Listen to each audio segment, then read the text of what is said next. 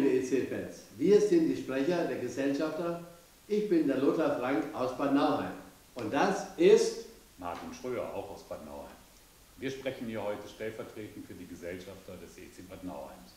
Wir wollen euch Fans, den Sponsoren, den anderen Gesellschaftern, den Mitarbeitern der Geschäftsstelle und vor allem den vielen ehrenamtlichen Helfern des EC Bad Nauheims ein ganz frohes Weihnachtsfest wünschen.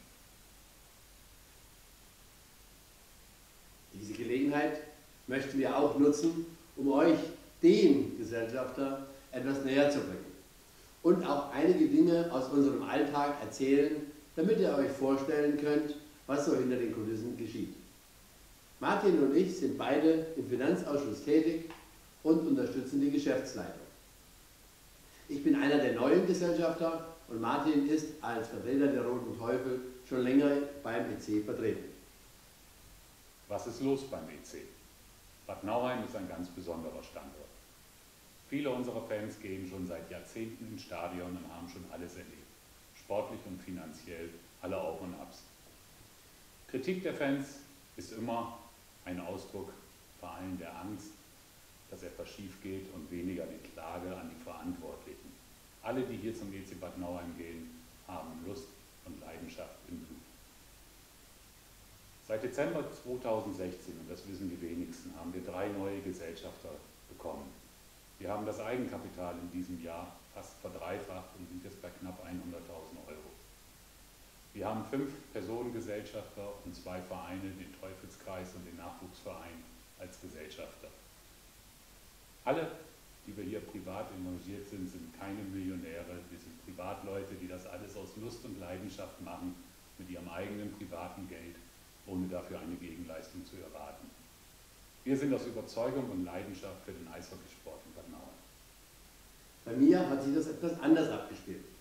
Um es weihnachtlich zu beginnen, es begab sich also zu der Zeit, als sich die Roten Teufel anschickten, aus der Oberliga in die DEL 2 aufzusteigen.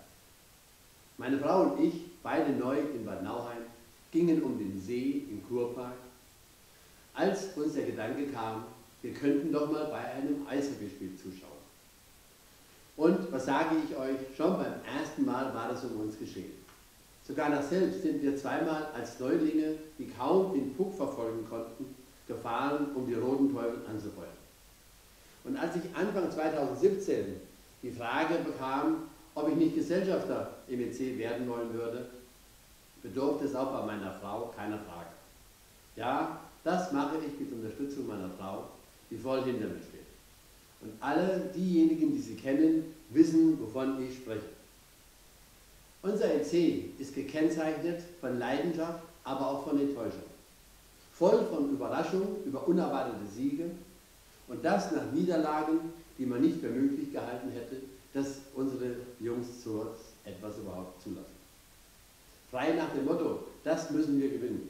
Übrigens ein ganz schlechtes Omen, das in meinem Sprachgebrauch so gut wie nicht vorkommt. An dieser Stelle kann ich jedem nur raten, der sich berufen fühlt, den EC vorwärts bringen zu wollen, nimmt Kontakt mit einem von uns auf. Wir sind EC begeistert und freuen uns über jeden, der mithilft, diese Begeisterung fortzuführen und noch zu steigern.